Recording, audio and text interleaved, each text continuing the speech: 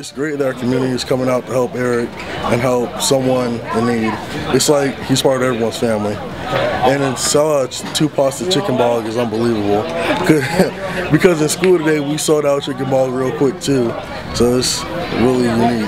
You know, when we heard about this, you know, everybody in the high school automatically thought, you know, let's do what's best for Eric and support Eric. So the cheerleaders, football players, the whole um, school kind of came together in a sense for that. So it has absolutely been tremendous for, you know, for the family, for the community to help out anyone that's saying, how can we help?